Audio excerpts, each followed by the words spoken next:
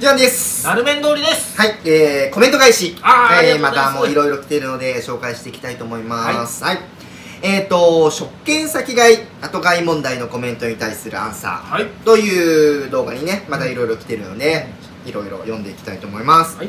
えーバギーさん、はい。えー初訪問の行列店では、事前に食べログやラーメンデータベースのレビューを読み漁り入店システムを事細かに書いてくれているレビューを参考にしています、それでも情報が得られない場合は並んでから状況を見てわからなければ前の方に先買いか後買いかを聞きます、一番いいのはほぼ全ての店が網羅されているラーメンデータベースのお店情報の項目に入店システムを盛り込むのがいいのかなと思います、うん。すごいよね。もうなんか今 お店行く前にここまでやるかっていうさ本当に。なんだろうねもだからラーメン屋さんはこれ本当に知るべきですよ。こんだけ、ね、うお客さんに敷いてるわけじゃんはい。ね。はい。来てもらう前にさうん。ね。多分ラーメン屋さんはねそうこんなことしてくれてるなんて思っていないでしょうから。そう。うん。やっぱさ特にさ、まあ、僕らはさうん食べに行くからさ、はい。この人の気持ちわかるしあれだけど、はい。多分さ、行列させている側のお店の人ってさ、うん。自分で経験してないんだよね、うんだから知らないんだよね。知らないと思います。だって忙しいから多うん。分食べに行く余裕とかもないでしょうし。そうだよね。うん。人気店ほどって感じじゃないですかね。ね、うん。これぐらいのことをお客さんにさしてるっていうのはやっぱね、しうん知った方がいいと思そうですね。うん。うでやっぱこれどうかと思うもんやっぱり、はい。お客さんにこれさせるっていうのは、うん。うん。ね。うん。だしあのねラーメンデータベースがうん。情報をねもうなんかいろいろ書き込めるようにしてくれたら本当に確かにありがたいですけどね。まあなかなかこれもね人が関わるっていうかそれ作るのも大変でしょうから。ね。たうん。なんかさ食券先買いって書いてもさ、うん。お店やシステム変わる可能性もあるじゃあ確かに全然ありますね。んね。うん。あそしてーなんかデータはその前のまま残ってるみたいなさねそんなの生まれちゃうからあそうですね。あんまりこれはねやんない方がいいかなと思うよね。お店が書き込める何かじゃないとダメですね。そうそうそう。でもそれって難しいんですよね。はいえー、っとモニさん。はいラーメン評論家さんどなたなのか気になりますね。あありましたね。リアルイベントならこういった話題でも盛り上がれそうなので、うん。開催期待しちゃいます、うーん確かに、はいまあ、リアルイベントは、まあ、まだまだ先の話としてお待ちください、うんはい、はい。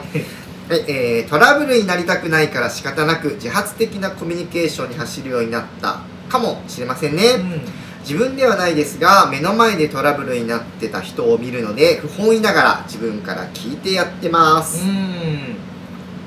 これあのうん。ね僕ついこの間、えっあとはい話しかけられました。おはい。ねえー買う買うんですかって。そうですね。えっとジローでう。ん並んでたんですけど、あのー食券ってもう買われました、うん。いやいや買ってないですえー最後尾ってここですか？あそうです。僕が最後尾です、みたいな、うん。であありがとうございますって僕の後ろに接続したんですけど、いやこれは僕が特別人見知りだから、あれなんですけど話しかけられたられたでそのね会話をちょっとでもした人がすぐ隣にいるって僕はちょっと嫌嫌でしたねやっぱり。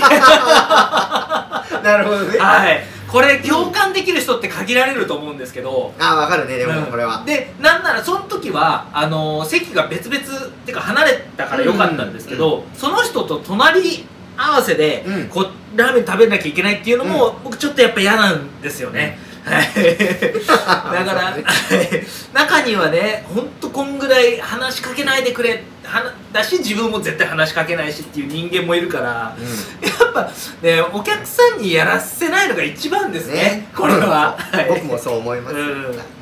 えー食券先が行ってお店に都合がいいからなんですかね。うん。それとも客をメリットを考え客のメリットを考えてですかねお客さんのメリットを考えてならどんな理由でしょう？どんな理由であれ？そこにメリットを感じるお客さんってほぼいないんじゃないかな？うんこれはもうはいもうどんずばです。ねいやその通りだと思います。いやだってメリットあります？あのねこの他の人のコメントにあったと思うんだけど、はい。あのね僕が思うねメリットっていうのがさはい。あのーメニューが分かりにくいお店とかはい。いっぱいあるお店でうん。券売機でメニュー選ぶのに時間がかかるお店に関してはああ食券先買いのメリットはあるかなとは思う。確かに。確かに。す。あ確かに。ああだからそれはメニューがシンプルとか、はい。分かりやすいもう別にもう迷う必要もなく押せるような店は別にあれなんだけど、うんなんかメニューの並びが悪いとか、うん。メニュー数が多い、うん。えなんかえなんだ？みたいなああるじゃんそういうはい。店、うん。わかります。だからそういうお店ではね、うん。お店側も先に買わせたいって気持ちもわかるし、うん。で選んでる時に後ろに並ばれるのも嫌じゃん。嫌ですね。あそれーやばいみたいなさ、うんプレッシャーマジで。そうそうそう。はい。ね、すうん、まあ考えたのはそれはメリットかなと思う。う、ん確かにで結構お客さんとしてはうん。割と大きなメリットですね、のうん、僕はそういうプレッシャーとかすげえ感じるし、うん。あのー券売機をこうなんていうんですか全体を把握するのに時間かかる方だから、うん。割と時間欲しい人なんですよ。だから確かにって今すげえ共感しました、はい、あありがたいなって。だからそれいう意味ではいいな確かに。そこはあるかなとは思います。うん。はい、えー先日売り切れ最後の客になった際、えー列が伸びていくので面切れであることを伝えると舌打ちされたり絡んでくる酔っ払いの団体がいて散々でした。このあね今さどうやってこのまあし死亡宣告宣告係みたいな？ーありますね。今ってさどういうシステムが多いんだろう？いやーわかんないです。僕あんまりそれになったことがなくて、うん。一個今あーこの時そうだったなって思ったのは、えっとえー、だ大丸でしたっけ、うん。えっとすごいあ千葉の方の。はい、変なとこにあるうん。あそこ僕最後だったんですけど、うん。その店は、えっとえー本日売り切れですっていう紙をうん。なんかドンって僕の後ろに置いて、で列が進むお要はお店からしたらお客さんが入ってくるたびにそれをずらしてくれて、あうん、常に僕の後ろにその紙がある状態。だからこれはまあスタッフがねそれやるべきだよね。って別にうん。その役を最後尾の人に頼むのはいいと思うの、あまあまあねそうですね。確かに確かに。あの進んだらこれと一緒に進んでもらえますか？って言って最後尾の人にそれをやらせるとやってもらうのはいいと思うんだけど、うん口頭でさ伝えるのって嫌だよね、無理無理無理無理。絶対嫌です。ちょっとそれはね。はい、でだ大体ねいやこれありますけど、うん。やっぱりがっかりされるのを見るのも嫌だし、そう。舌打ちされるのも嫌だし、ね、なんでそれ僕関係ねないじゃん、全く関係ないじゃん。おお客さん側はさ。たまたま最後に並んだってだけでさ。ね。これはねお店は特にここは気を使わないといけないよねなーって、思いますね、うん。はい。えー、っと次。例えば11時開店のお店。1巡目じゃなければ仕事に間に合わない場合。うんうん。1時間前着。うん。カウンター5席のお店に5人目で1巡目ゲットと思って並んでたら1時間待った挙句。開店前に前で合流されて2巡目になった場合代表待ちって大問題と思いますけど。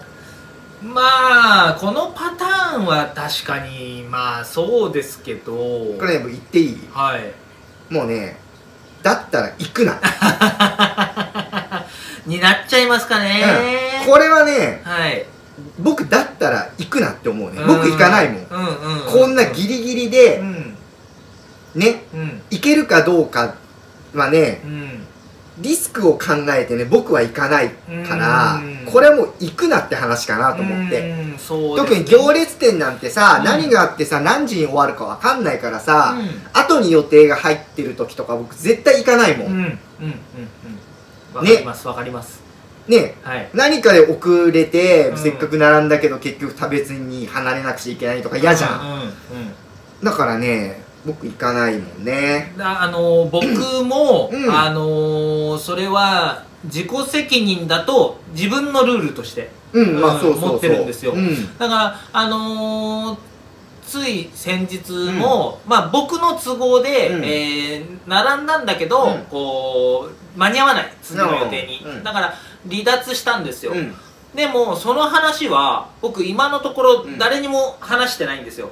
ラーメン仲間だろうが、うん。普通の友達だろうが、うん。まあジュアンさんにも話してないんですよ。それってあの僕お店の悪口言ったりとか悪口っていうか変にいじったりとか、ね、悪いこと言ってますけどそういう自分にうん負い目がある場合はやっぱ言わないです人に、うん、だからその辺はなんだろうな寄って、うん、予定がある時は行かないっていうのはすごい大事なことな気がします、うん。うん、自己責任かな。ねそうだよね。僕もねそう思います。うん。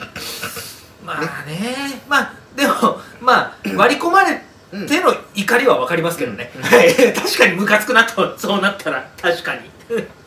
うん。はいえー チャーシュー乙女さん。はい東京にほど近い埼玉県の二郎系ラーメン店で並んでいた時、ん。代表待ちしていたところに何名か入って、私の前の方から売り切れですと言われたことがありあー。ネッとなったことがありました、店舗さん側は代表待ちはやめてくださいと張り紙などで訴えているのですが、代表待ちしている側はそんなこと知らないし多分悪いことをしているという意識はないと思うのです、うん公に営業時間を公開していながら閉店12時間前に行っても売り切れのため終了というのと同じ構図かと。うん。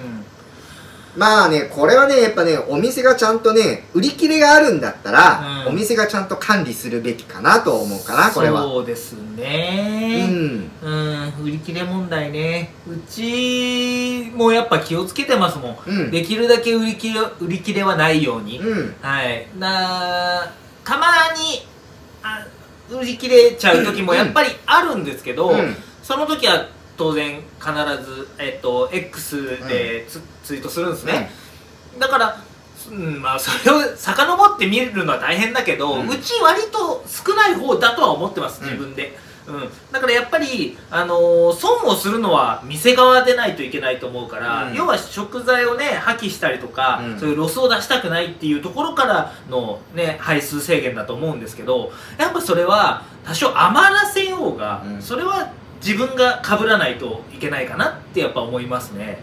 うん。あと、あのー代表待ちうん。のその張り紙も、えー食券先買い後買いと一緒で、うん。貼っててもねやっぱ見ないんですよねお客さんは。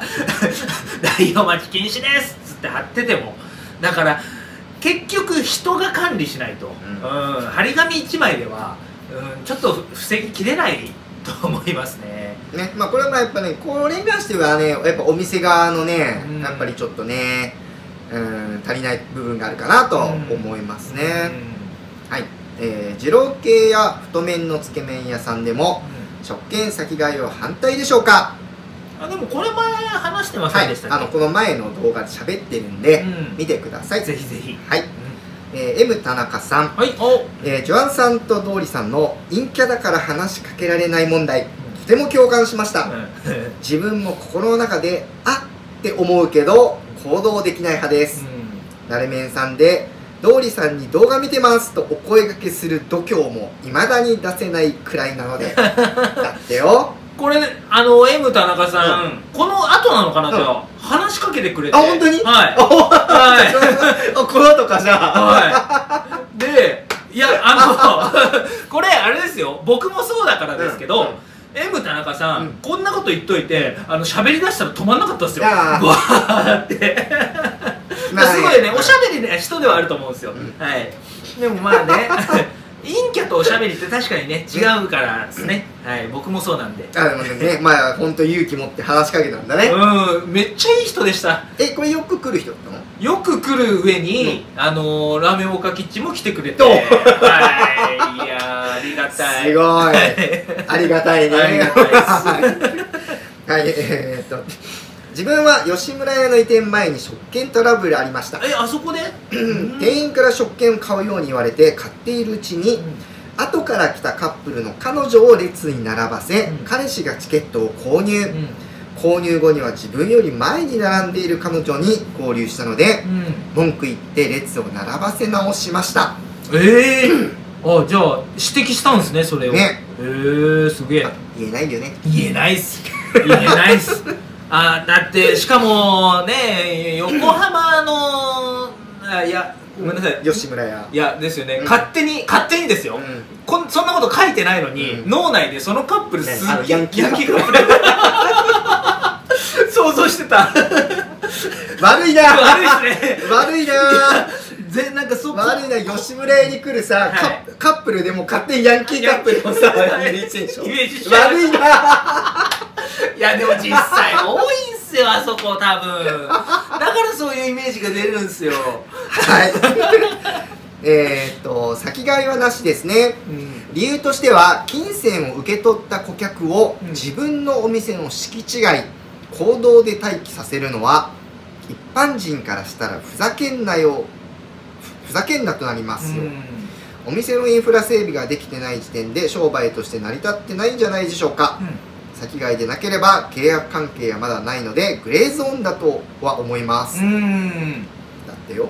まあまあまあここまでねあのーうんここまでとは僕は思わないですよ そのはい。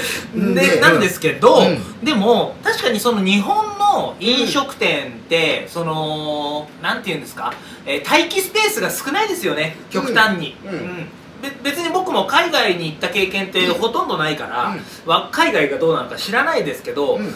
にしても日本はやっぱ、うん、少ないイメージです。だからもっとえっとなんていうんですかね。いやそれこそあれなんですよ。あのニューヨークの一風堂が、うん。なんつうんですか。あのドリンク飲みながら待てる待機スペースがあるって聞いたことあるんですよね、僕行ったことはないんですけど、だそのバーみたいなカウンターがあって、うん。ちょっとドリンク頼めるらしいんですよ、へだそういう意味ではこの方の意見はすごい共感できるんですけどね、でもまあそれを今のそのラーメン屋さん特に都内のラーメン屋さんに求めるってなるとやっぱ難しいのかなっていう、それでいうと行列自体がめちゃくちゃグレーゾーンだし。ううん。ーん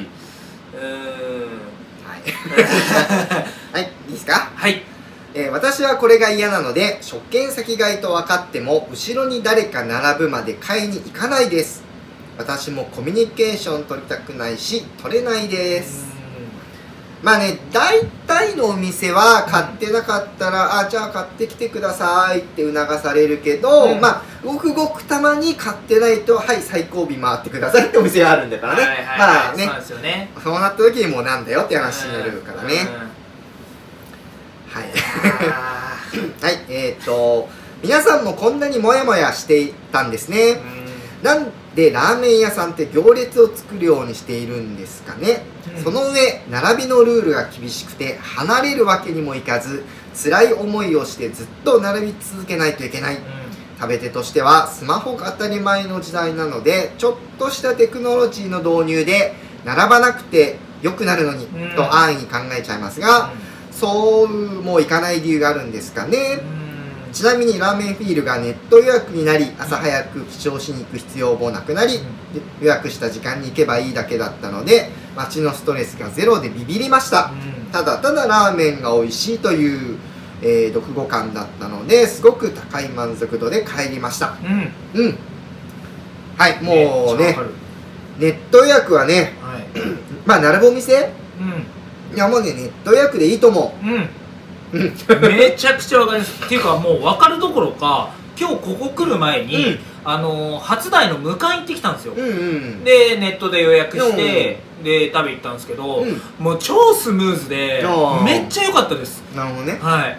で先えっと先月ぐらいかな、うん。あのー無冠の五反田の方行ったんですよ、そこは普通に列に並ぶ感じなんですね、でうーん並んだせいなのか、うん。何なのか分かんないんですけどもう圧倒的に今日の方が印象良かったんですよラーメンの、うん、でもまあ同じ牡蠣の塩のラーメンなんですよ。そんなに差が生まれるね、うん。作りのラーメンでもないはずなのにえだからそれはやっぱりそこのスムーズさ、うん 快適さうん。がちょっとやっぱ味に影響したのかなって思っちゃいますね。もうだから今ねとりあえずね貴重性のところはねもうすぐねネット予約に移行した方がいいと思う。ん。うねするべきだと思う。うん。僕もあんま自分でお客さんでネット予約のやったことないんですけど、うん。今日やってみたら全然スムーズだし、なんうん何のストレスもなかったですね、うん。うん、これね導入した方がいいっすよね。ね。まあラーメンフィール確かね390円だっけな？なんか予約手数料かかるんだよ。ああなるほどなるほど。そう。ん。まあだからねまあさまあ、うんまあ、390円、うん。まあ それでね何時間並ぶとかって考えればまあいいかなと思うけどね。そうですね。なんかファストパスみたいな話も今あるし。うん。うん。ね。もしかしたら安い方になるじ時代が来るかもしれないですね。ね。うん。はい思い、えー、せやにみちるさん、はい。えーこれまでのお話聞いていると先買いって明らかにデメリットの方が多いですよね、ハッシュタグで食券先買い制度反対とかを決めて みんなで使ったらブームメントになりませんかね。いいねこれ。これいいっすよ。これね。それこそなんかね有名人の人が一人でもこんなことを言ったら、もうどんどんどんどんみんなそのハッシュタグつけて、ね。うん、1回でもトレンド入りしたら、うん。多分ねそれがまたネットニュースが拾ってってどんどんうん。広がっていくような気がしますね。やればいいじ いやもうこれだこれでデブちゃん案件でしょ。先にやればいいじいやいやいや僕無理ですよ。そしたら取材来るよきっと。取材来ますかね。僕だってあんな上手に受け答えできないですもん。はい。はい、えーっと、はい、えー、地方のロードサイドのお店は代表待ち OK で、店員さんに口頭で注文するタイプが多いのですが、まれに代表待ち OK かつ食券先買いという最悪の組み合わせのお店があります。3から5人で来ているのに1人だけしか並ばない家族客が多いので、想定よりも列が進まず、次の予定遅刻しそうになって食べるのを諦めようにもすでに食券を買ってしまっているためどうしようもないという状況が発生します、ルールを作るときは客の立場を考えていただきたいです。あーまあ、はいその通りですこねれは 一人がね、ふ二人になるぐらいだったらいいですけど、なんか一人がバンって5人ぐらいに増えたら ちょっとさすがにさすがにこれはってなりますね。でもまあ地方だとあるよね。まあ確かに。家族家族とかね連れですもんね。友達同士でも結構な人数で来たりとかねあるからね。うんあー確かに。えー、安野さん。はい、自分は陰キャ二軍ですが、うん嫌な思いたくさんして慣れました。他人は美味しかっただけを持ち帰ってほしいと思い後の客には伝えてます。うん。ラーメンの外部要因でラーメンの価値を下げさせたくないのかもしれません。ちなみに前の客に聞くのはコミュ障なので無理です。うん、うん。ねすごいね。後ろの客には僕は言えないです。え言えないっすね。うん。はえーっと若々さん。いワンオペ行列での連席希望なども私は結構気を使います。普段彼女と一緒にラーメン屋に行くことが多く2人で醤油と塩やラーメンとつけ麺といった違うものを頼んでシェアするのですがワンオペ行列店だと店に迷惑かかるようでそういった店には1人で行くようにしています、うん。お店側として連席希望ってどどのくらい迷惑なのか教えてほしいですこれはどう？いやもうあのーいや正直言っちゃえば、うん。連席がなくなれば、うん。お客さんの待ち時間も減りますよねそりゃ、うん。だから一名客がずーっと来てくれる方が、お店としてはやりやすいですけど、うん。もうそれはさすがに飲食店としてどうなんたまにありますけどでもなるめ今4席じゃん？4席です。4席じゃん、はい。2人客はい。飛び飛びで席空いてるってなったら、はい。あくまで待つ。待たせます。あ待待たせる。まあそうですね、まあ待ってもらいます。はい。じゃあ3人客だったらいや並ばせる？それでも。ああはい。基本僕。あもう、うんはい。あそうなんだ。それはちょっと僕のうん。うーん悪いとこだと思ってるんですけどもうそういうルールにしてます。だからうちの店って死に席ずっと常にある感じです、はい、だから待ち時間めちゃくちゃ長いです、はい、であのーもうそれは僕はあの複雑なオペレーションが自分はできないから、うん。もうこっちって決めてるんです。お客さんは連席にする、うん。うん。バラバラのを聞かない、うん。みたいな。はい。なんか。まあこれはまあまあお店によるからね。まあで僕もね基本的にはねもうね何人かできたらもう一緒に横並びで食べてください、花も、うんうん。ただねまあ渡辺はね8席しかないから、はい。例えばね、4人で来ると、うん。うん22で分かれてもいいですかっていうのはある。それはでもなんかわかんないけど僕もあります、ね、3人だったらやっぱ3人やっぱ並ばせるかな。うん。それはすごいわかり4ます。人以上はねなんとなく分ける。っていう感覚あるかな、だしだなんか2人はもう絶対にもう一緒に食べてもらうね、うんうんうん。これは。僕がね4人組で行くような、うん。そんな友達はいないんですけど、もし自分が4人で行ってもやっぱそう言われたら全然ああいいかなって思いますし、なんか確かに割り切れるって強いっすね。ね。うーん。でやっぱ、うん、でもまあ2人でさ僕食べ行くことあるけど、はい。でも2人で行ってバラバラでいいですかって言われたことない気がする、ある？あんまないような気がしますないよね並んでるとこでも。あ2人だったら、ん。まあね、これわかんないですけどやっぱラーメンが数種類あって、それをこうシェアするっていう文化が、うん。うん。だいぶ当たり前になってきたっていうのは一個あるような気がするんですよね、でお店もなんなら、うん。そうあのねたくさんの種類食べてくれた方がちょっと嬉しかったりもするし。うーん。なのでまあこの方もね彼女とね一緒にラーメン行くならね一緒でいいと思います、うん行列店でも。ね。うん。ね彼女と2人で行ってバラバラでいいですかってまだ言われないと思ううんんで、そうですね。もし言われたらうん。コメントください、あそうですね。うんうんうんうんはい、感じですかね、うん。はい、えー、安野さん。個人的には貴重とネット予約は当日に食べ行く店を気分で決めたい自分としては不便に感じます。まあまあま代表待ちされて並びが増えるのは許容できても品切れというのは納得できないので代表待ちは数に限りがある場合は気にしてほしいですあ、ね、うん。でもうまさにですね、うん、だまあネット予約とかもさはい。当日もできるようにすればいいんじゃないとは思うけどね。あれ多いのがこう1週間分、うん。うん。うん。もうこの日にみたいなの。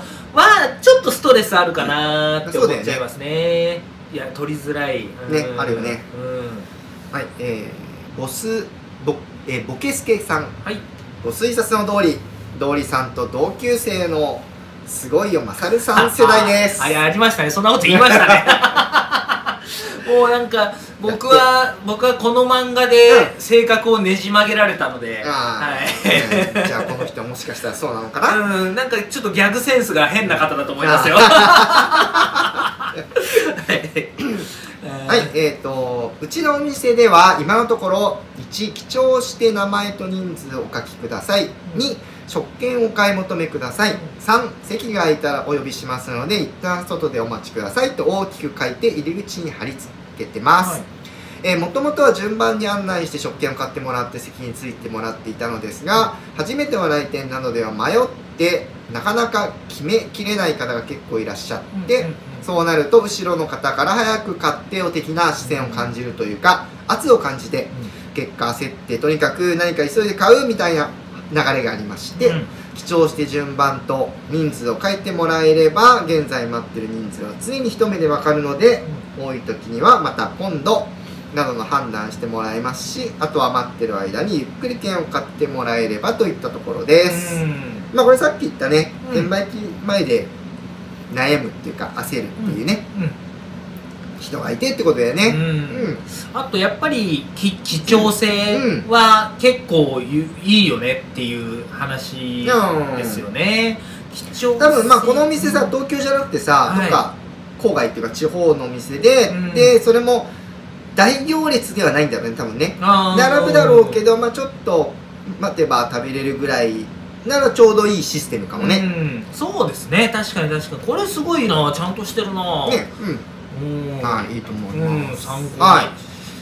えー、と先買いとかではなく最近貴重性のお店も増えてきてる印象ですが、うん。ホタテ日和みたいに開店数分前に貴重ボードを出し1巡目はちょっと待ってからそのまま入るシステムが納得いくのですが、11時開店なのに9時とかから貴重ボードを出すのは何の意味があるのでしょうか？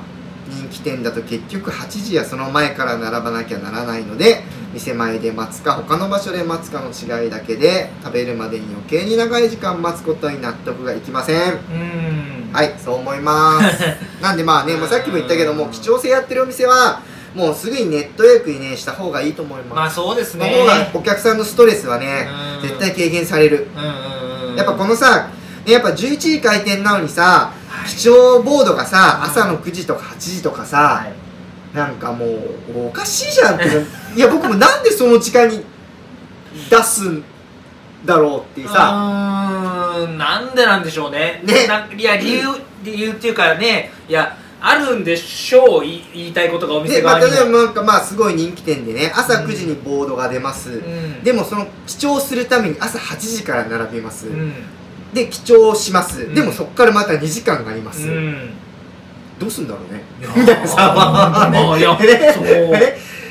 ね もうねだからねネットですよネットですよね。ネットですよね。だってそれこそ、あのー僕なんかはうん。そんな時間が空いたら絶対こう朝ラーメンやってるとこないかなとか、どっか食べに行ってで美味しいお店なのに2軒目とか3軒目とかに回されちゃうんですよ。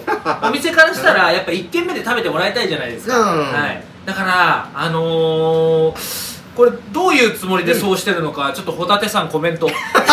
ホタテ日和さんコメントお願いします。でもホタテ日和はあれよ。開店数分前に記帳ボードを出したんだよ。あそうですか、うん。あじゃあもうこれには当てはまんないのか、うん。ああ、ね。どこだ？五感？まあ僕もちょっと浮かんだけど、はい。あ五感だって今もうネット予約なのあえもうえそうなんですか？あそうだよ。そう。えー知らなかった。うん。ええちょっと早くに記帳ボード出すお店ね浮かんだけどちょっとまあ言いにくいんでちょっとあここではなるほど。言えないまあ言わないけどねはい。まあ次。にはい。はい、えー、バイタツさん。はい。それだけラーメン屋さんの大半が食券制度になったからゆえの議論になりますでしょうか？先日伺った横浜のペーパンさんがの食後カウンター払いでウキウキしてしまいました。ねもうね今ないよね。まうん。あ食後のね。はい。確かに食後のカウンター払いだと、うん。ななんだろう、うん、そっから感じる、えー、老舗感じゃないけど。なんかなんかぐらいほんと少なくなったんだなって、うん。なんかその行為自体がちょっとなんかうん古いお店っていう感じ。古いあ悪い意味じゃなくていいすごいいい意味で。でもさもうやっぱさまあ本来のさ流はい。れ的にはさ、はまあ最後にさお金を払うまあお金をもらっていさ、ありがとねっていうやり取りうんはい。が一番なんかスムーズな気がするよね、うん。先にもらってさね。もうさーって帰られるよりさ、うんうんうんうん。うん最後にごちそうさまって言ってお金払っでうんなんかやっぱ、あのー一風堂はうん。それが理由で、ほとんどレジ。あみたいな券売機は僕がいた当時は横浜のポルタ店しかなかったんですよ、まあそこは本当関東の中でもうん。本当1位に争うぐらい売る店だから、うん。シャアなしで券売機でしたけど他はもうほとんどレジでその理由はお客さんとのコミュニケーション。ああ、はい。なるほどね。はいだからイベントとかだと、うん。結構店長クラスの人が、うん。あえてレジやったりとか、おうんーありましたね。なるほど。はい、えー、代表待ちはやはりダメ。店はこの人数なら売れると思っていたのが代表待ちで数人増えると最後の方に待っていた人は売り切れです。を散々待たされた挙句に通殺されることになるから。まあこれさっきも言ったけどこれうん。お店の管理の問題なんうでん代表待ちの問題じゃないっていうかさ。うん。でもこんだけ何回かコメントが出てくるぐらい、うん。このパターンがあるんだなって知りました、あの今まで知らなかったから。で僕もねこれあったことはないね。うん。うん。だとしたらやっぱ結構な問題ですよね。これはお店側がねお店側がどうにかするべきだよね。うん。これちょっと対応しなきゃダメですね。はい、えーこの動画を見た直後、うん。先日渡辺に行きました。お数組の行列ができていましたが、うん。閉店間際だったこともあり前の組から順に食券を買ってお待ちくださいと案内してもらっていたのですが、後から来たお客さんが食券買いを待っている。前のお客さんを飛び越して食券を買ってから並んでいました。うん。順番で買うのを飛び越えて買うマインドがわからない感じでしたもうなんかさ多分この人にとってはさもう食券って先買うのが当たり前なんだ。よ、もうね。うん。これあーやっぱりその、えー、と先に先に買っちゃった人、うん。ラーメンオタクとかではないですよね多分ね。おいや普通のう一般の人って、うん。ラーメン屋さんに行く頻度ってん。月に1回も行かないぐらいのレベルじゃないですか。やっぱ分かんないんじゃないですか。なんかだって絶対様子を伺ったりとかもしてないでしょうし、もう何も考えずに多分さーっとこう、うん。うん行動してるんだと思うんですよ、うん。それを未然に防ぐのってやっぱ難しいです。今までずっと議論してたのってこうラーメンをある程度食べに行く方、うん。うんってとのやり取りじゃないですかこのコメントって、でもやっぱルールを破る人のほとんどがそのラーメン好き以外の人だから、その人たちをどうコントロールすればいいのかって、ね。難しいですよね。うーんなかなかこれはまあね。こんなうん。1回の動画で答えが出るわけがないぐらいにねすっごい難しい。やっぱねこれだけコメント来るってねみんなねこの問題ね気になってるんだねっていう感じでうん。まあ紹介してみました。はい。はいまたあのコメントをねいいただけると紹介できるのであと名前とか、ね、ハンドルネーム文中に書いていただけると名前も読めるのでぜひ名前も書いてください、はい。よろしくお願いします。お願いします。では